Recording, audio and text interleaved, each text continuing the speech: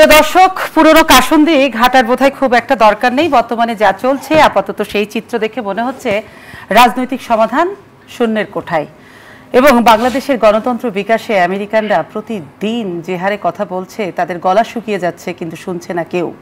এবং কেউ শুনছে না বলেই আজকে যে শান্তি সমাবেশ, বনাম পদযাত্রা ছিল, সেখানে কুরুক্ষেত্র রাজধানী সহ খাগড়াছড়ি, বগুড়া এবং লক্ষ্মীপুরে আমরা যতটুকু জানি, দুজন বিএনপি নেতাও পুলিশের গুলিতে নিহত হয়েছে। এখন এই চিত্রটা দেখে অনুষ্ঠান শুরুর আগে শুধু এটুকুই বলা যেতে পারে যে যত মারবে ততই যদি বাড়বে এবং এটাই যদি হয়ে থাকে ভবিষ্যতের শেষ কথা যে যত মারবে, তত বাড়বে, তাহলে সমাধানটা আসলে কোথায়? আর বিদেশিরাই বা কি করছে?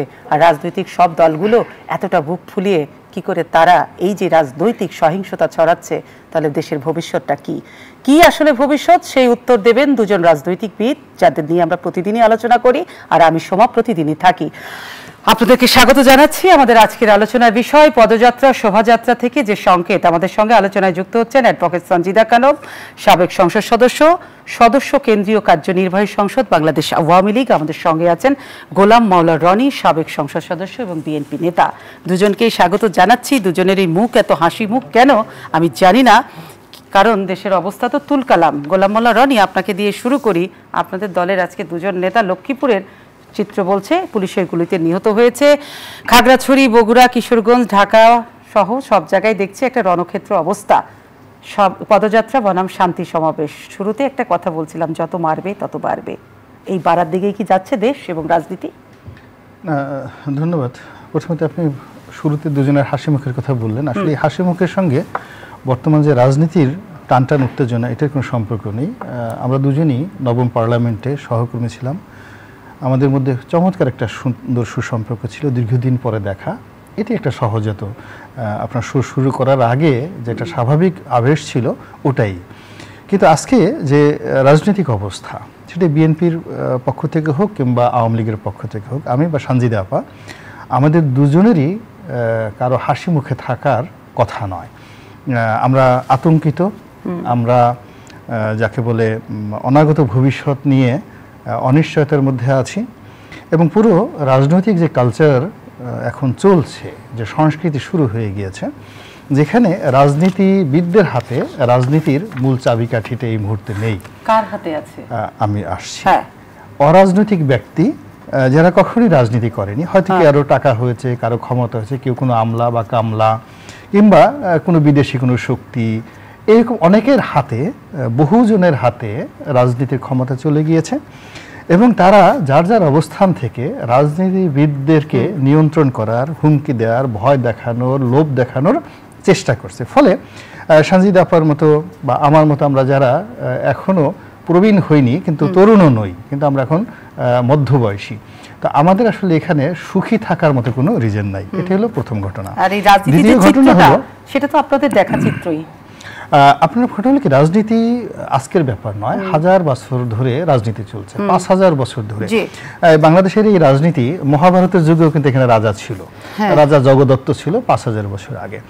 তো এই রাজনীতির ব্যাকরণ কখনো পরিবর্তন হয় না। অর্থাৎ জনগণ যদি একবার খেপে যায় একবার বিক্ষুব্ধ হয়ে যায় আপনি সেই জনগণ কাঙ্ক্ষিত মাকামে অর্থাৎ তাদের যে চাহিদা সেই চাহিদার জায়গায় না পৌঁছা পর্যন্ত পৃথিবীর কোনো কর্তৃত্ববাদী শাসক এমনকি পৃথিবীর সবচেয়ে শক্তিশালী যারা রাজা বাদশাহ মহারাজা ছিলেন চেঙ্গিস খানের কথা বলেন না কেন তারাও কিন্তু এই যে বিক্ষুব্ধ জনতা তাদেরকে কখনো দমন করতে পারেননি। বাস্তবতা হলো যে এই মুহূর্তে বাংলাদেশের টেকনাফ থেকে তেঁতুলিয়া পর্যন্ত সমস্ত মানুষ আওয়ামী লীগকে অবিশ্বাস করছে এবং বর্তমান রেজিমকে ঘৃণা করছে। এবং এই রেজিমের সঙ্গে যে সমস্ত ভালো মানুষ রয়েছে যারা চুরি চামারি করে না তাদেরকেও চোর বলে ভোট চোর বলে গালাগাল করছে। এইগুলো একটা। দুই নম্বর হলো যখনই কোথাও কোনো সমাবেশ হচ্ছে।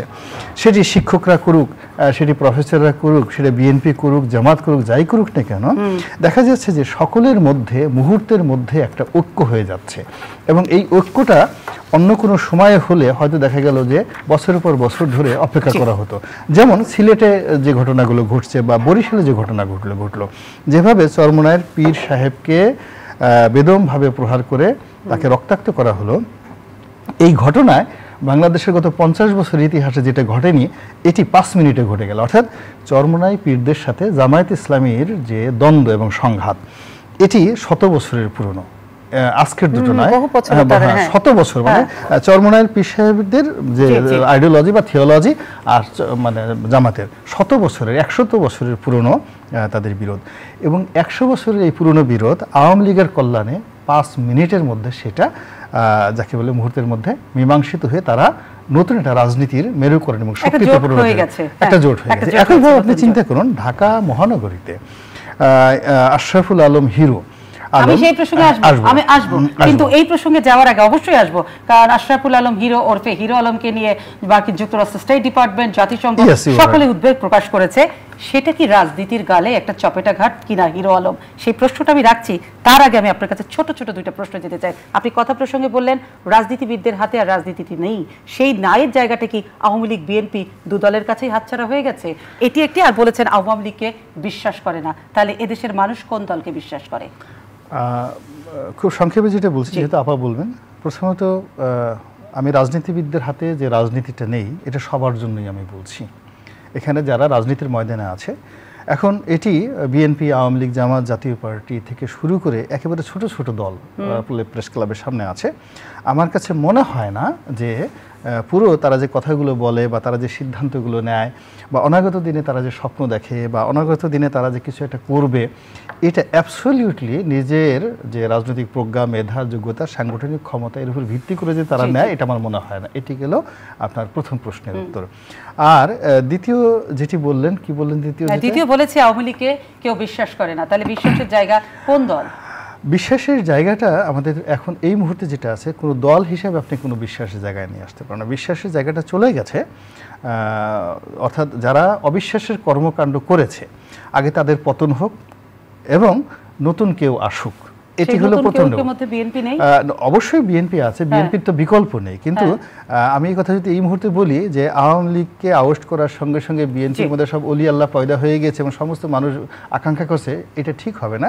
তবে মানুষ যেটা চাইবে যে অবশ্যই আওয়ামী লীগ চলে যাক তারপরে বিএনপি আসুক এবং বিএনপি এসে সেই কাজগুলো করুক যেগুলো আওয়ামী লীগ মানে গোলাম রনি তার মানে এটা হচ্ছে জায়গা শেষ প্রশ্ন আমার আপনার কাছে এই মুহূর্তে যে বুকে হাত দিয়ে এই মুহূর্তে আপনিও বলতে পারছেন না যে আওয়ামী লীগ না যাওয়া পর্যন্ত আওয়ামী লীগের আগ পর্যন্ত মানুষ বিএনপি কেও বিশ্বাস করছে। নট লাইক দ্যাট আমি এই কথা বলিনি আমার মুখ থেকে না, না, না, আমি বলছি, আপনি আমার আমার প্রথম যেটা হলো যে মানুষ চাচ্ছে বিএনপি আসুক কিন্তু তারা যে জিনিসটা চাচ্ছে যে বিএনপি এসে ক্ষমতা এসে তারা প্রমাণ করুক তারা আওয়ামী লীগের চাইতে ভালো ভালো কাজ করুক এবং এই দেশকে শান্তির দিকে নিয়ে যাক এবং আওয়ামী লীগের যে দুর্নাম বরদাম ভোট চুরি জালিয়াতি শেয়ার মার্কেট লুটেরা থেকে শুরু করে সারা দুনিয়াতে যে একটা অটোক্রেটিক। যে সরকার ব্যবস্থা চালু হয়েছে সরাসরি ফ্যাসিবাদী যে সমস্ত শব্দগুলো রাজনীতিতে আসছে এইগুলো যেন বিএনপি অনাগত দিনে না করে। এই ব্যাপারে আমি আপনার কাছে ছ মিনিট আমি ছিলাম আপনার কাছে ওনাকে বোধহয় দিতে হবে। যে জায়গাটিতে আমি আসব, যে এই যে শান্তি সমাবেশ বনং পদযাত্রা, যে রাজনীতির সংস্কৃতিটার আবার পুনরাবৃত্তি হচ্ছে, ভোটকে কেন্দ্র করে, সেটা কি ভালোর দিকে যাচ্ছে? এটি হচ্ছিল আজকে আমাদের শিরোনাম। এবং প্রথম প্রশ্ন আপনার কাছে, এবং এই মুহূর্তে বাংলাদেশ আওয়ামী লীগকে কেউ বিশ্বাস করছে না। তবে বিশ্বাস যদি করাতে হয়, আপনাদেরকে সরে যেতে হবে, এবং বিএনপিকে সেটা প্রমাণ করতে হবে যে আমরা বিশ্বাসী। যেটা সেকেন্ড প্রশ্নের উত্তরে গোলাম মোল্লা রনি সাহেব বলেছেন আপনাদের কেউ বিশ্বাস করে না। আপনাকে অনেক ধন্যবাদ রনি ভাই আছেন এবং যারা দর্শক যারা শুনছেন সবাইকে সালাম এবং শুভেচ্ছা। আপনি যে প্রসঙ্গটা এনেছেন আসলে এটা সাম্প্রদায়িক সব মানে সাম্প্রতিক সব বিষয়গুলি এটা অবশ্যই আমি মনে করি অনেক মানে গুরুত্বপূর্ণ বিষয়। সেটা হচ্ছে আজকে আমাদের শান্তি সমাবেশ ছিল পাশাপাশি সেই উন্নয়ন শোভাযাত্রা ছিল। অর্থাৎ এই গত চার গত চোদ্দ বছরের ক্রমাগত যে উন্নয়ন এই সরকারের সেই উন্নয়নের শোভাযাত্রা ছিল। প্রচুর ব্যানার ফেস্টুন আমাদের উন্নয়ন কর্মকাণ্ড নিয়ে নেতাকর্মীরা সারা ঢাকা শহর থেকে অর্থাৎ ঢাকার দক্ষিণের ছিল। আমার কাছে মনে হয়েছে যে এটা একটা জনসমুদ্রে রূপান্তরিত হয়েছে এবং অনেক সাকসেসফুল একটা শোভাযাত্রা আমরা আজকে করেছি। আহ, এবং সেটা সারা বাংলাদেশ থেকে লোক এনে শোভাযাত্রার মধ্যে গন্ডগোল হলো কেন? শোভাযাত্রায় তো কোনো গন্ডগোল হয় আজকে যে আপনাদের যে শান্তি সমাবেশ হচ্ছে হ্যাঁ। সেখানে কিন্তু আওয়ামী লীগের সঙ্গে বিএনপি সংঘর্ষ হয়েছে লক্ষ্মীপুরে দুজন বিএনপি নেতা মারা গেছে আমাদের শোভাযাত্রায় কোনো সংঘর্ষ হয়নি। হ্যাঁ। আমি প্রথম থেকে শেষ পর্যন্ত বত্রিশ নম্বর পর্যন্ত আমি ছিলাম। মিরপুরে তো- মিরপুরে সংঘর্ষ হয়েছে। আজকে দক্ষিণ আজকে দক্ষিণে শোভাযাত্রা ছিল। আপনি বুঝতে হবে আমাদের আমাদের শোভাযাত্রাটা ছিল ঢাকা দক্ষিণ মহানগর আওয়ামী লীগ। জি। এটা মিরপুরে না।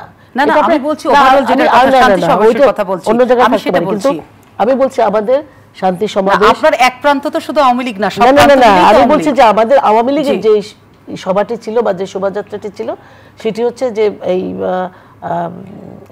ইঞ্জিনিয়ার্স ইনস্টিটিউট থেকে বত্রিশ নাম্বার পর্যন্ত আমরা হেঁটে হেঁটে সুন্দর করে শোভাযাত্রা এত মানুষ মানুষের স্বতঃস্ফূর্ত অংশগ্রহণ এটা নিশ্চয়ই আপনারা মিডিয়াতেও কাভার কাভারেজ দিয়েছেন এত মানুষ হবে কিন্তু সেটাতে উৎফুল্লিত হওয়ার কিছু নেই।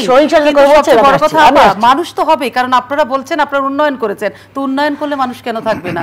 তো সেই মানুষ থাকা নিয়ে আপনারা কেন খুশি হচ্ছেন? আপনি হয় যে-। সহিংসতার কথা আপনারা যে বলছেন যে কথাটা বললেন আপনি হ্যাঁ। মিরপুরের কথা বা লক্ষ্মীপুরের লক্ষ্মীপুরে দুজন মারা গেছে, কিশোরগঞ্জ, খাগড়াছড়ি, বগুড়া, সব জায়গায় নামে আপনি যদি পদযাত্রার নামে বিগত দিনে হ্যাঁ। এদেশের মানুষ তো দেখেছে এই বিএনপি জামাত বা এই জোট এই সাম্প্রদায়িক এই গোষ্ঠী এই গোষ্ঠী পদযাত্রার নামে সমাবেশের নামে হরতালের নামে বা কোনো রাজনৈতিক কোনো কর্মসূচির নামে তারা যে ধরনের সহিংসতা চালিয়েছে সেই সহিংসতা রোধ করবার জন্য সাধারণ মানুষের জানমাল নিরাপত্তা করবার জন্য আমাদের পুলিশ প্রশাসন তো সেখানে অংশগ্রহণ করবেই। কারণটা হচ্ছে তাদের তাদের দায়িত্বটাই হচ্ছে সাধারণ মানুষের জানমালের নিরাপত্তা দেওয়া। এখন তারা যদি পদযাত্রার নামে যদি কোনো সহিংস কর্মকাণ্ডে তারা যদি জড়িয়ে পড়ে সেটা তো পুলিশ প্রতারিত তার প্রতারিত মানে। বিএনপি পদযাত্রার মানে সহিংসতা করছে পুলিশের উপরে হামলা করছে। হ্যাঁ পুলিশ পুলিশ তো আচ্ছা। সেটা সেটা তো পুলিশের উপর হামলা করে আচ্ছা, পুলিশের উপর শুধু মানে না। আমরা তো দেখেছি পুলিশের মাথা এই পুলিশের মনোবল ভেঙে দেওয়ার জন্য পুলিশের মাথা ইটা দিয়ে থেতলে দিয়েছে। কিন্তু যে জায়গাটা আমি আপনার কাছে প্রশ্ন রাখতে চাই বিগত সময়ের রাজনীতি এখনকার প্রেক্ষাপট ভিন্ন হয়েছে। অতীতে বিএনপি বলেছেন জ্বালাও পোলাও করেছে পুলিশের মাথা তেতলে দিয়েছে। কিন্তু এরকম দূরবীন চোখে ইগলের চোখে তখন তো আমেরিকা এদিকে তাকিয়েছিল না। এখন তো তাকিয়ে আছে। এখন কি করবেন? আর পুলিশের উপরে যদি হামলা বিএনপি করে তাহলে সেটা আপনারা আমেরিকাকে কেন বোঝাতে পারছেন না? প্রতি রাতেই কেন স্টেট ডিপার্টমেন্টের মুখপাত্র আপনাদের দিকে আঙ্গুল তুলে বলছেন গণতন্ত্র সহিংসতা আপনারা কেন নিরসন করছেন না? সরকারকে দোষ চাপাচ্ছে? না আসলে আমেরিকার কথা তো। আহ, তারা স্টেট ডিপার্টমেন্ট প্রত্যেক দিন তারা তাদের ই জানাচ্ছে। তো আমেরিকা তো কিছুদিন আগেও কিন্তু এসেছিল। কিন্তু হ্যাঁ। আপনি দেখেছেন তারা যে সমস্ত দাবি নিয়ে গেছে অযৌক্তিক এই তত্ত্বাবধায়ক সরকারের পক্ষে কিছু বলেছে? আমেরিকা বলেনি তো। এই আহ, ইউরোপিয়ান ইউনিয়ন কিছু বলেছে? বলেনি। তাদের একটা দফা সরকারকে পদত্যাগ করতে হবে। শেখ হাসিনাকে পদত্যাগ করতে হবে। সরকার থেকে সরে যেতে হবে। এটি কি তারা মানাতে পেরেছে? পারেনি তো। সুতরাং তারা তো বলেনি যে তত্ত্বাবধায়ক সরকারকে ক্ষমতা দিতে হবে। এই কথা কি আমেরিকা বলেছে? বলেনি এটা কি আমেরিকা ইউরোপিয়ান বলেছে দিয়ে দিতেন? আমেরিকা ইউরোপিয়ান বলেছে হ্যাঁ। বলার পরে আমরা বুঝতে পারতাম যে আসলে তারা মানে সরকারের বিরুদ্ধে না বলেই তারা যা যা করছে হিরো আলমকে নিয়ে উদ্বেগ প্রকাশ করছে এবং। আওয়ামী লীগের যে গতকাল ঢাকা সতেরো আসনে বিজয়ের পর হিরো আলম যে আপনাদের একটা গলার কাটা হয়ে গেল এটা কি বুঝতে পেরেছিলেন না না এটা এটা আমরা মনে করি না হিরো আলম কাটা হয়ে যাবে এটা এটা আমরা মনে করি না কারণ হিরো- গেল।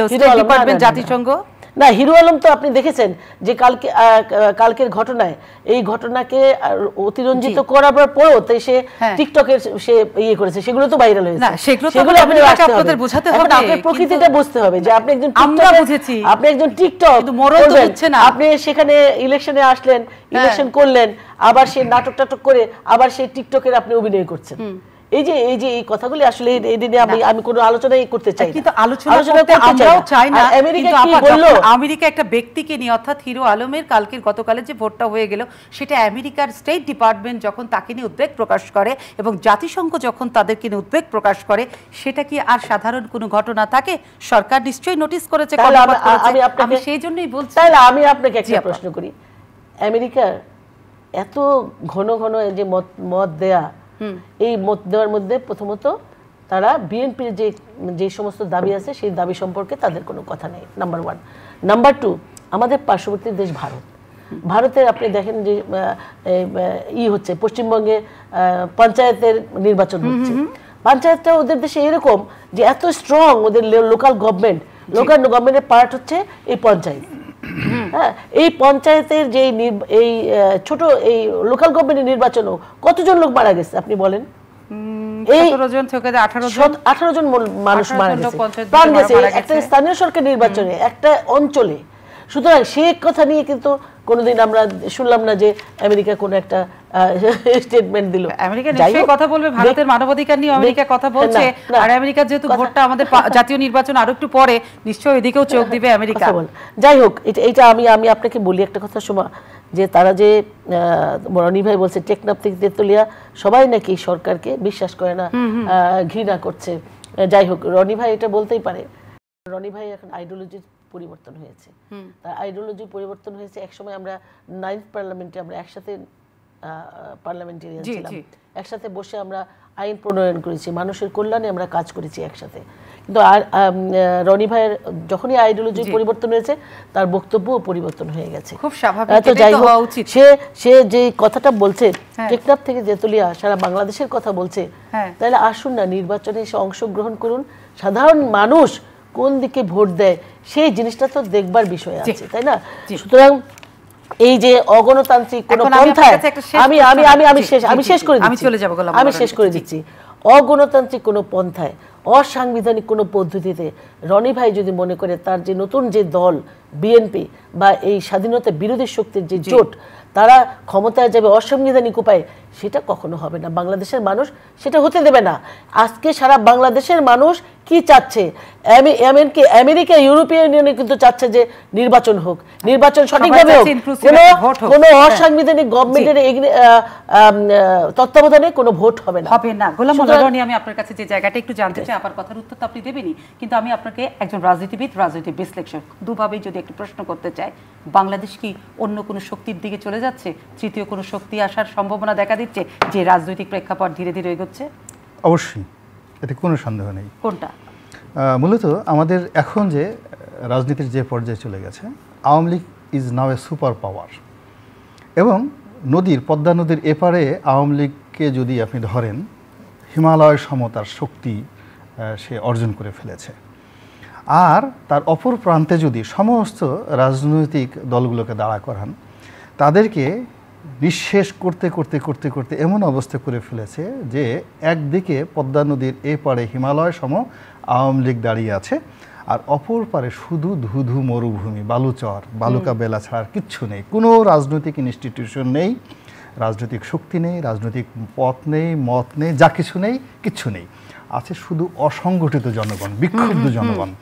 এখন এই বিক্ষুব্ধ জনগণকে নেতৃত্বের মধ্যে রাখার জন্য যে প্রজ্ঞা দরকার যে মানে- যে ইনস্টিটিউশন দরকার এটা আওয়ামী লীগ ধ্বংস করে ফেলেছে।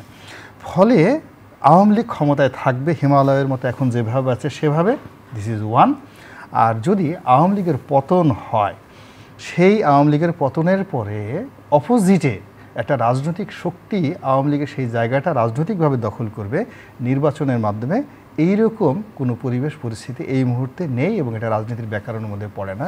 যারা বলে আমি এক মিনিট হ্যাঁ, যারা বলে তারা হয়তো দেখা যাচ্ছে অতি বিএনপি বা অতি আওয়ামী লীগ হিসেবে বলে এটা হলো রাজনীতির বিশ্লেষণ। তো কাজেই যদি কোনো একটি সমস্যা এই মুহূর্তে তো বাংলাদেশে অবশ্যই সমস্যা আছে। রাজনৈতিক সমস্যা আছে অবিশ্বাস আছে অনেক অভিযোগ আছে। এই অভিযোগগুলোর যে নিষ্পত্তি যখনই রাজনৈতিকভাবে না হবে তাহলে কীভাবে হবে? অরাজনৈতিকভাবে হবে। এখন অরাজনৈতিক যখন হয় there are many many ways অতীতে একসময় ইস্ট ইন্ডিয়া কোম্পানি আমাদের এই দেশ দখল করেছে। অতীতে অনেক সময় বিদেশি শক্তি এসে আমাদের ইখতিয়ার উদ্দিন মোহাম্মদ বিন বখতিয়ার খলজির দেশ দখল করেছে। এরকম অনেক বিষয় রয়েছে। অনেক সামরিক সেনাপতি দখল করেছে। আমাদের এই দেশে সামরিক শাসনে এসছে বারবার বহুভাবে। ওয়ান ইলেভেন এসছে। তো যার জন্য যখন আমরা একটি অরাজনৈতিক সমস্যার দিকে যাচ্ছি মানে নিষ্পত্তির দিকে যাচ্ছি এটিকে এটি রাজনৈতিক দুর্ঘটনা বলা যেতে পারে।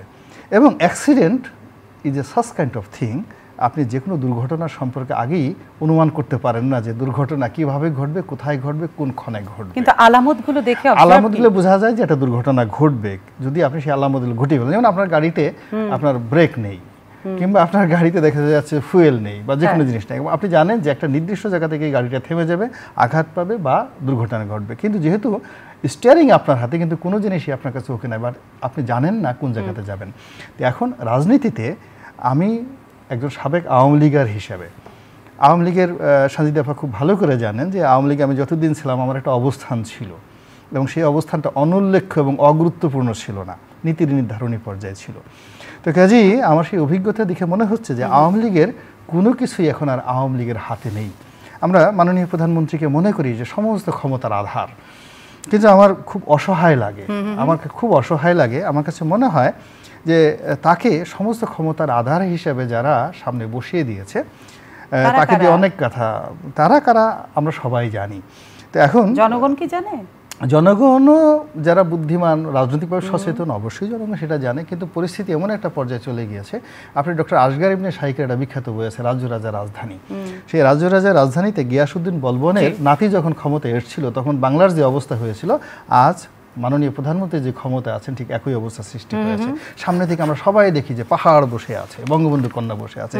তিনি যা বলেন সব হয়।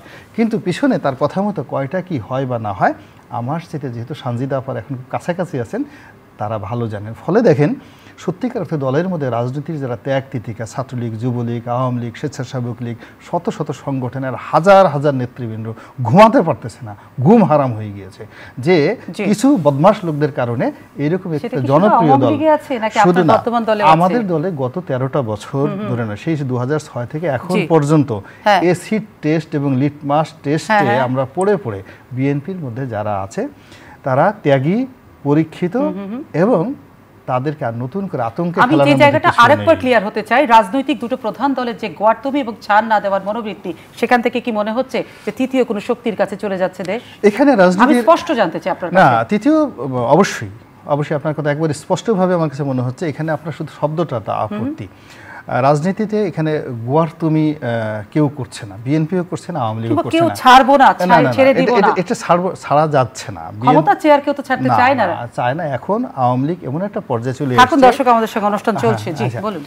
আওয়ামী লীগ এমন একটা জায়গাতে আছে কোনো অবস্থাতেই এই জায়গা থেকে আসলে আওয়ামী লীগের জায়গায় যদি বিএনপি থাকতো আপনি থাকতেন আমি থাকতেন আমরা আসলে এই অবস্থাতে প্রতিপক্ষকে ছেড়ে দিতাম না। ইট ইজ দ্য রিয়েলিটি এবং ইজ দ্য ফ্যাক্ট দ্বিতীয়ত আবার আওয়ামী লীগ যে পর্যায়ে আসছে এবং যে কর্মকাণ্ডগুলো করেছে এটা একক শুধুমাত্র যে প্রধানমন্ত্রীকে দায়ী করবেন not like that it's a group it's a gang it's a system তো সেখানে বসে বিএনপি তো দূরের কথা ওই জায়গাতে যদি আওয়ামী লীগ হতো কেউ বিশ্বাস করতো না।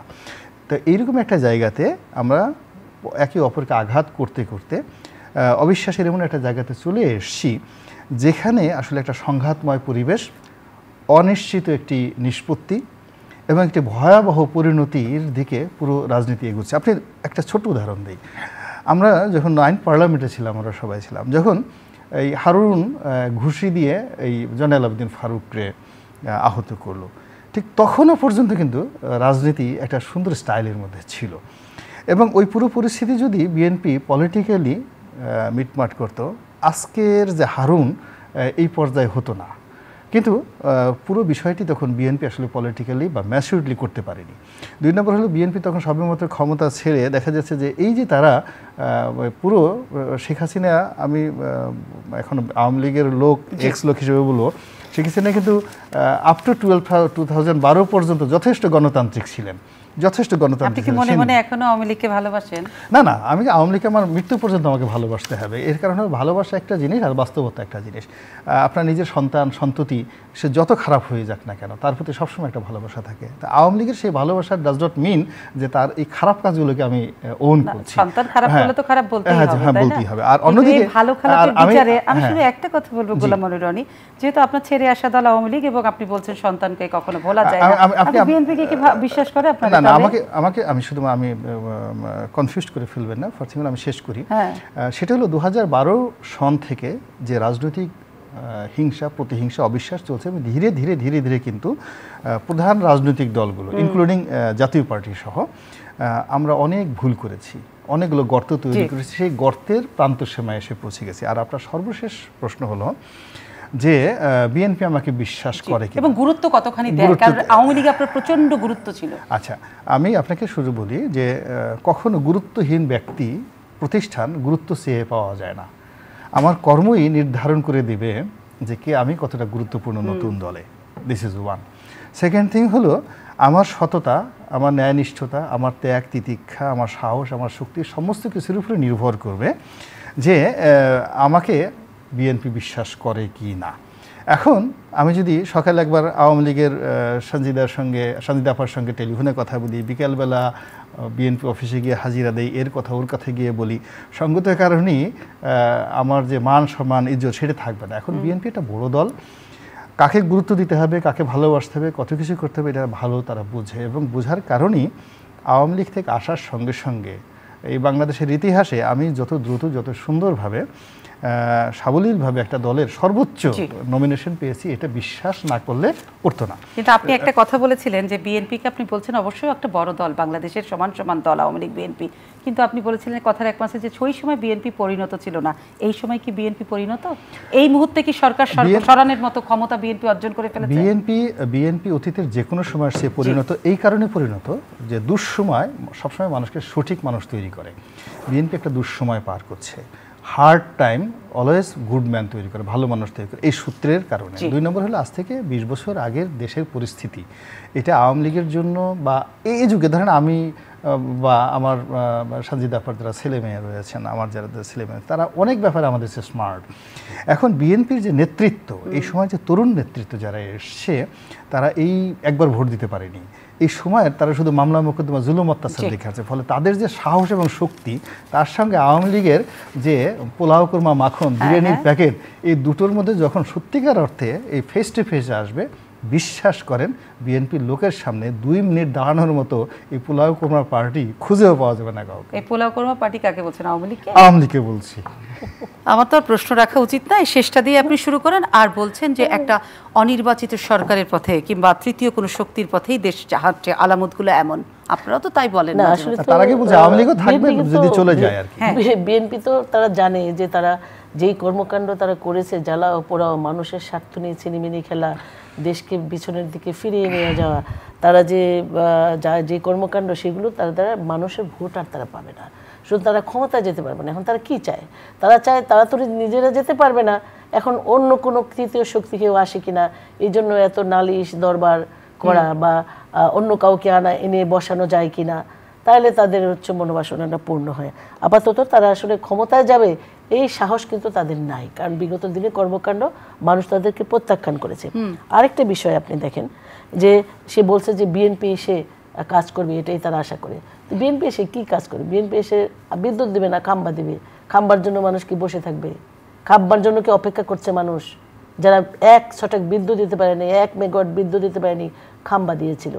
যারা হাওয়া ভবন খাওয়া ভবন মিলিয়ে যারা এদেশের প্রত্যেকটা ব্যবসায়ীকে জিম্মি করেছিল তাদেরকে মানুষ ভোট দিয়ে আনবে।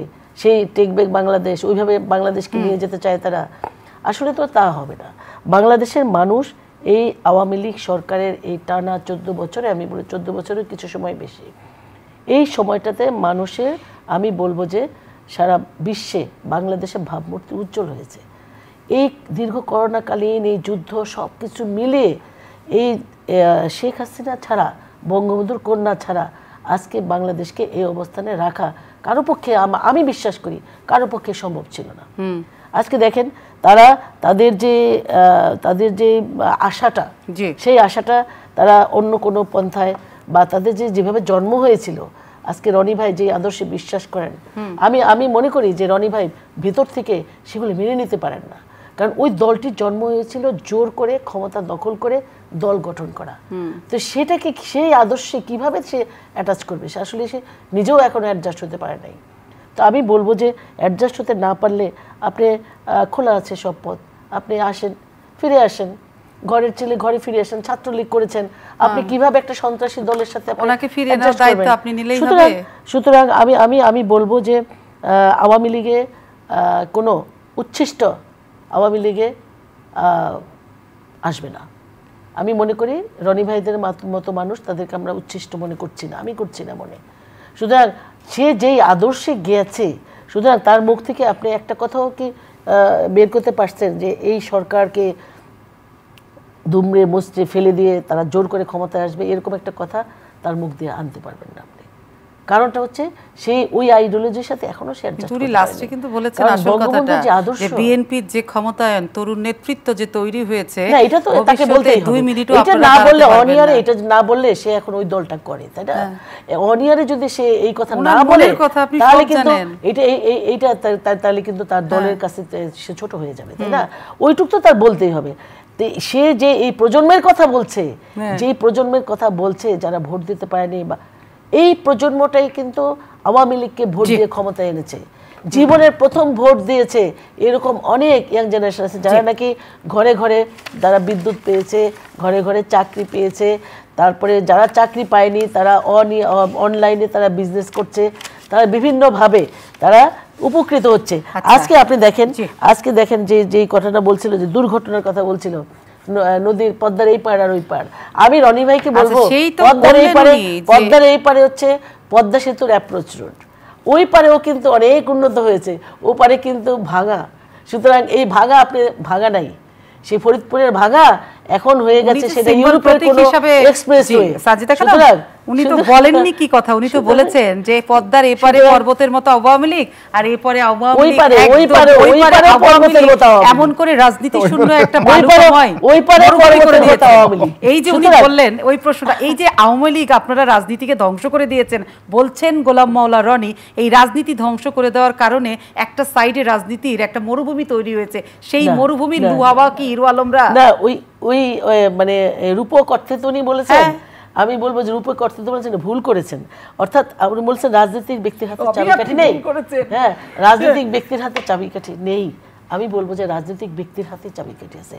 এখনও আমাদের দলের সাধারণ সম্পাদক আমাদের ওবায়দুল কাদের যেই কথা বলেন সেইটার জবাব কিন্তু ওই পক্ষ থেকে বিএনপির মহাসচিবই দেন। হ্যাঁ? বা অন্য কোনো নেতা দেন। বা ওই পক্ষ থেকে যে কথাগুলি আসে সেগুলির জবাব কিন্তু আমরা দিই। সুতরাং- রাজনৈতিক আমি বলব যে কোনো না কোনো ভাবে হ্যাঁ। শুধু না। আমি বলব যে আসলে সত্যিকার অর্থে এই দেশের রাজনীতি সবচেয়ে পুরনো দল বাংলাদেশ আওয়ামী লীগ বিএনপিও তারা দাবি করে একটা বড় দল। কিন্তু আমি আমরাও মনে করি তারা একটা বড় দল।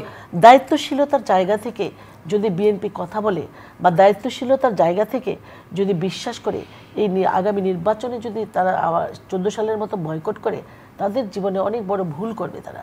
কারণ কারোর জন্য বসে থাকে না। এই যে দেখেন যাদের কাছে বিচার আচার দিচ্ছে আমি আবারও কথা রিপিট করছি। যাদের কাছে হ্যাঁ, হ্যাঁ। বিচার আচার দিচ্ছে এবং তারা তত্ত্বাবধায়ক তত্ত্বাবধায়ক করে এক দফা শেখ হাসিনার পদত্যাগ চাচ্ছেন তারা বঙ্গবন্ধু কন্যার পদত্যাগ চাচ্ছেন এই সম্পর্কে কোনো আশ্বাস তো তারা পাচ্ছেন দেখুন। আমেরিকা তত্ত্বাবধায়ক তত্ত্বাবধায়ক আমি বলব বিদেশের কাছে কথা বলে লাভ নেই বিদেশিদের কাছে কোনো নালিশ দিয়ে লাভ নেই আমেরিকা কিছু বলছে না কিন্তু গণতন্ত্র নিয়ে আমেরিকা প্রতিদিন কথা বলছে আমি- বলব যে সারা বিশ্বে গণতন্ত্র কোথায় কোথায় গণতন্ত্র আছে কোথায় নেই হ্যাঁ। এটা কিন্তু তাদের নিজের যারা কথা বলে তাদের নিজেদের দেশে কতটুকু গণতন্ত্র আছে সেটা তো আপনারা তাদেরকে কোনোদিনই বলেননি। এটা কিন্তু আমরা আমাদের এটা বলা উচিত আমাদের এটা বলা উচিত আমি যখন মানবাধিকারের কথা বলব আমার দেশে কতটুকু মানবাধিকার লঙ্ঘিত হচ্ছে সেই কথাটা মাথায় রেখে আমি অন্য দেশের উপর আঙ্গুল তুলবো। কিন্তু যে জিনিসটা করছে খুব আনফর্চুনেটলি আমি বলি যে যেগুলো করছে এটা ঠিক না। আমাদের দেশের মানবাধিকারের লঙ্ঘনের কথা বলতে হলে আগে নিজের দেখে নিজের চেহারাটা আপনি আয়নায় দেখবেন না। মানে আমেরিকাকে আগে নিজের চেহারা করেন। দেখতে হবে। তাদের নিজেদের চেহারাটা দেখুক না ঘন্টায় কতজন মারা যায় মাসে কতজন মারা যায় কীভাবে ওদের ফ্রি বন্দুক ফ্রি গুলি ফ্রি ওরা ইচ্ছা করলেই একদম কম বয়সী বাচ্চারা গুলি করে মানুষ এভিডেন্স সব দলের কাছে আছে আপনাদের কিন্তু বললে পারেন না আমি বলব আর আপনারা বলছেন মেনে আমেরিকার সাথে আমাদের সম্পর্ক যে খারাপ তা কিন্তু না বা ইউরোপ ইউনিয়নের সাথে আমাদের সম্পর্ক খারাপ তা কিন্তু না। খারাপ ভালো এগুলো থাকবে। কিন্তু সর্বোচ্চ আমি বলব যে ভিসা একটা গলার কাটা হয়ে গেল। বাংলাদেশে না ভিসা নীতিতে কোনো গলার কাটা হয়নি। এটা ঠিক।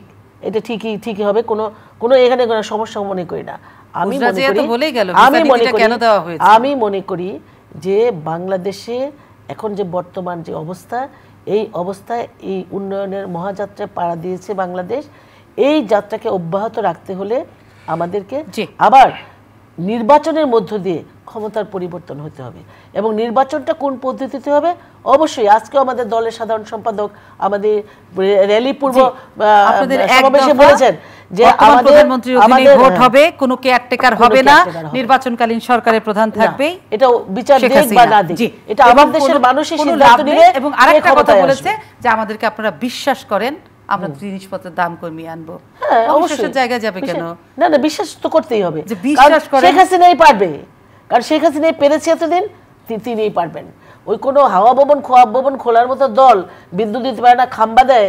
দেশের হাজার হাজার কোটি টাকা বিদেশে পাচার করে এই ধরনের কোন দল যারা মানুষের কথা চিন্তা করে না মানুষের কল্যাণের কথা চিন্তা করে না একদম মানে দরিদ্র মানুষের কথা মাথায় না এনে যারা দেশ চালানোর চেষ্টা করেছিল তাদের অবস্থা তো আপনি দেখছেনই। সবচেয়ে বড় ব্যাপার রনি ভাই আপনি বিএনপি গিয়েছেন আমার কোনো ক্ষোভ নেই আপনি একটা অন্য দলে যেতেই পারেন। আপনাকে আমি বলব যে যেই দলটায় গেলেন আপনি সেই দলের নেতৃত্ব কোথায়? যিনি প্রধান তিনি তো জেলখানায় ছিলেন শেখ হাসিনার বঙ্গবন্ধু কন্যার দয়ায় তিনি বাইরে আছেন। তিনি একজন। সাজাপ্রাপ্ত আসামি যিনি সেকেন্ড ইন কমান্ড তিনি কি তিনিও একজন সাজাপ্রাপ্ত শুধু তাই না তিনি একজন ফিউজিটিভ অর্থাৎ পলাতক আসামি। সুতরাং এমন একটা দলে আপনি গেলেন যেই দলের নেতৃত্ব নাই আপনার ওই জোটের মান্না ভাই একদিন আমি দেখলাম যে মাহমুদুর রহমান মান্না বলেছেন হেডলাইন হয়েছে যে বিএনপির সবচেয়ে বড় সমস্যা হচ্ছে নেতৃত্বের সমস্যা। নেতৃত্ব শূন্যতাই বিএনপির সবচেয়ে বড় সমস্যা। অর্থাৎ এইবার আপনি নির্বাচনে আসছেন বা আসছেন না শেখ হাসিনার অধীনে নির্বাচনে আসবেন না পরোক্ষভাবে আপনারা বলতে চাচ্ছেন আসলে আপনাদের তো কোন নেতৃত্বে আপনারা নির্বাচনে এই প্রশ্নের উত্তর গোলাম মোল্লা রনি দিবেন আমি অনুষ্ঠান শেষ করব। এইবার এমন কোন নেতা খুঁজছেন। কিনা? যে কোন- নেতার অধীনে আপনি নির্বাচনে আসবেন আচ্ছা যারা নির্বাচন করতে পারবে। নিশ্চয়ই এই শেষ প্রশ্নের উত্তরটাই দিবেন কিন্তু আপনাকে শেষে এসে আমি ছোট্ট একটা প্রশ্ন করব সাজিদা কেন? সেটা হচ্ছে আপনাদের দলে যখন গোলাম মোল্লা রনি ছিলেন তিনি তো যোগ্য নেতাই ছিলেন। যোগ্য ছিলেন তো দলে? আপনাদের আওয়ামী লীগে যখন ছিলেন উনি তো যোগ্য ছিলেন? ওনার যোগ্যতার জন্যই তো উনি মনোনয়ন পেয়েছিলেন।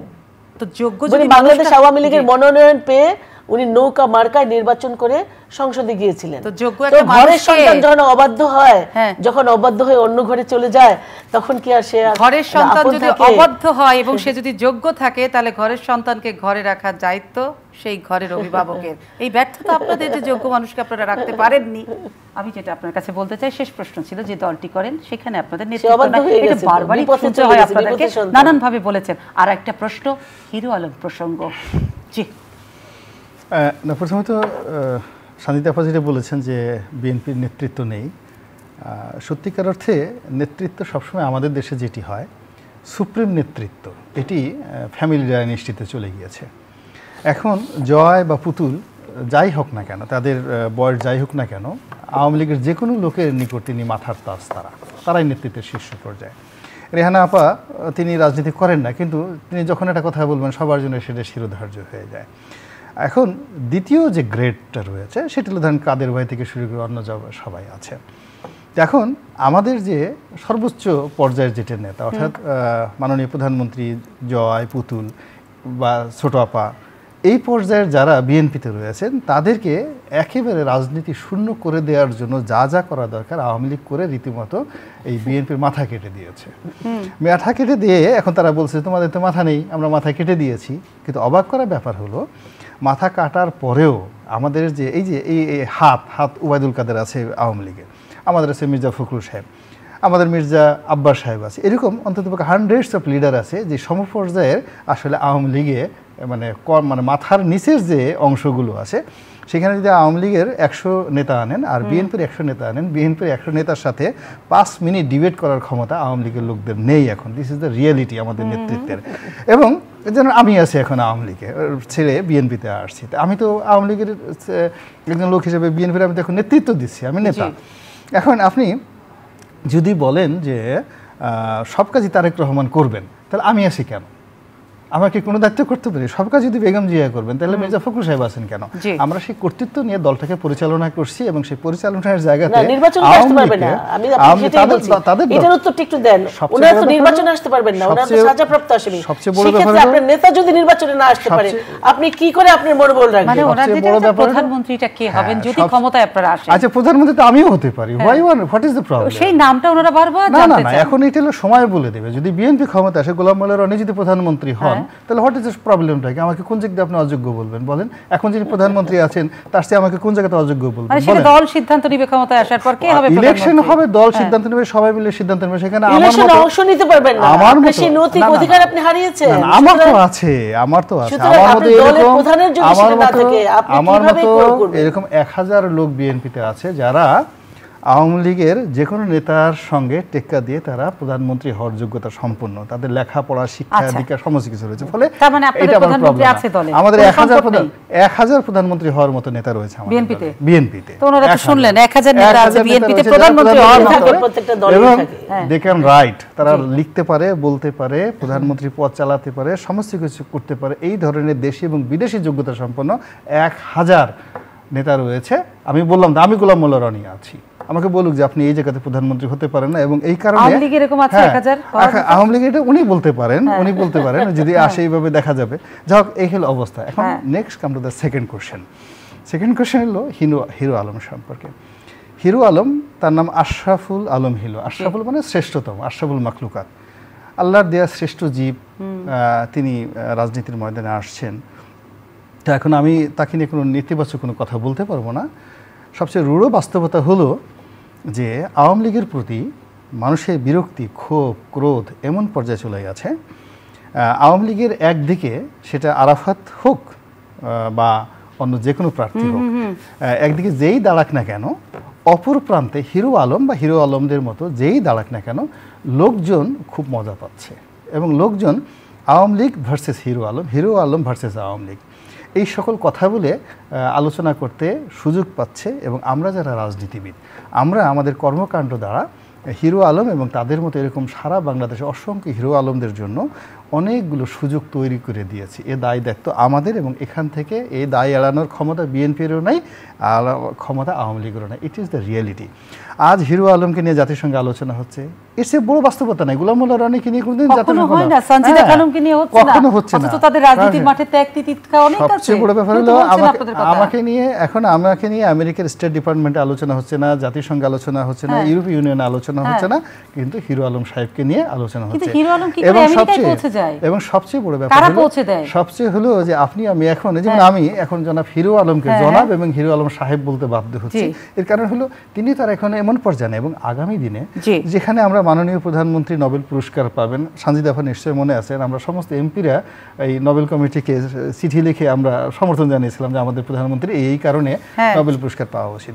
এবং এই প্রধানমন্ত্রী শেখ হাসিনা নোবেল পুরস্কার পাবেন এর জন্য গত এই চোদ্দ বছর ধরে আওয়ামী লীগ জলে স্থলে অন্তরিক্ষে এমন কোনো চেষ্টা নাই যে করেনি।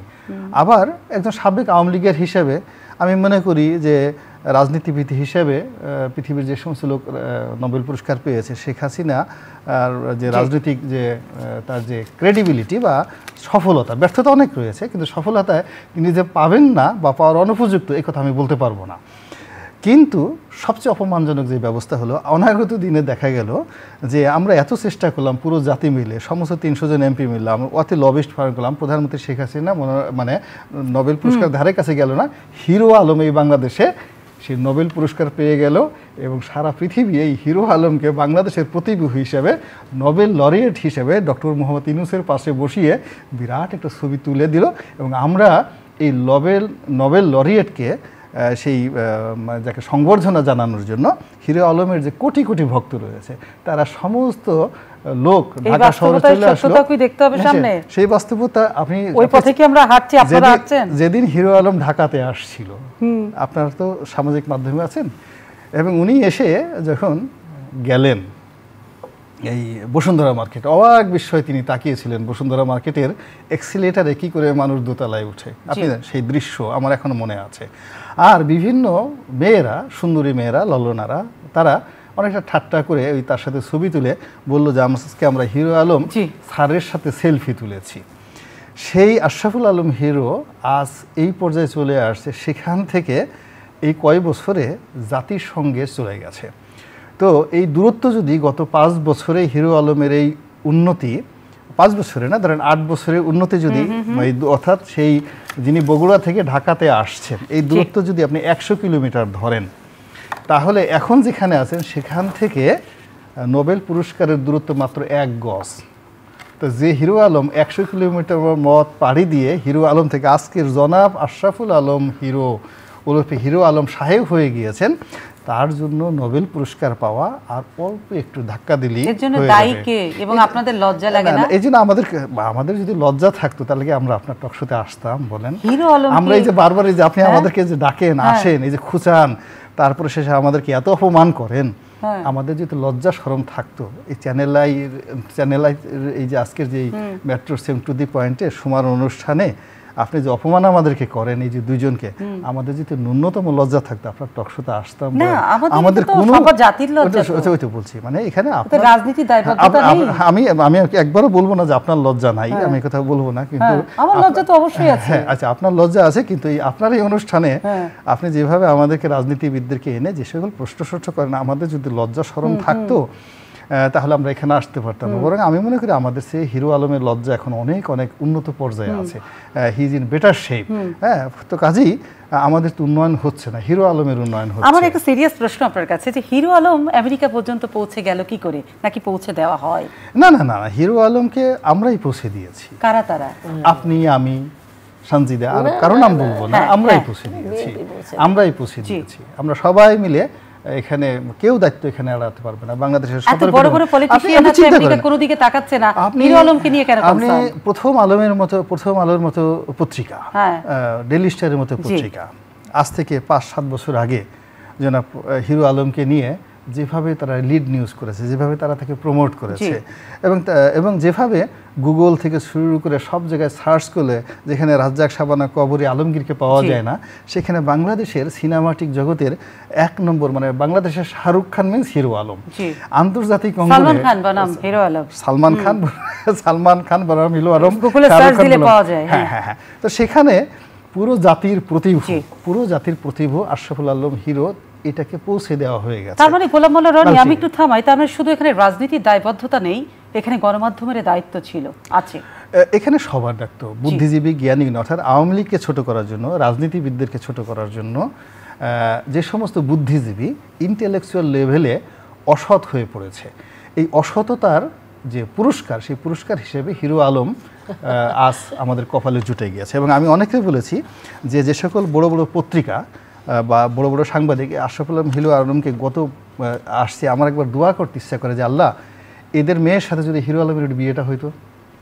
অথবা এদের ঘরে যদি হিরো আলমের মতো এরকম একটা সন্তান পয়দা হতো এবং সেই সন্তানের ছবি যদি তাদের পত্রিকা বা টেলিভিশন এইভাবে সুন্দর করে ছাপাই দিতে পারতো এই দৃশ্যটা একটু দেখার তৌফিক আমাকে দাও। আমি এতটুকু দোয়া শুধু এই আলম সাহেবকে নিয়ে কেন তাহলে আবি আওয়ামী লীগ অভিযোগ করে সবখানে যে আপনাদেরই শ্রেষ্ঠ হিরো আলম? না এখানে তো মূল ব্যাপার হলো যে এতটা দুর্ভাগ্য পর্যায়ে পড়ে গেছি যে আপনি আহ, আওয়ামী লীগের অনেক বড় বড় মানুষ বলতেছে যে হিরো আলম বিএনপির সৃষ্টি। এবং বিএনপির অনেক বড় বড় নেতা হিরো আলমের পক্ষে কথাবার্তা বলছে এবং হ্যাঁ। আপনি আমি এখন এখানে বসে কথাবার্তা বলছি।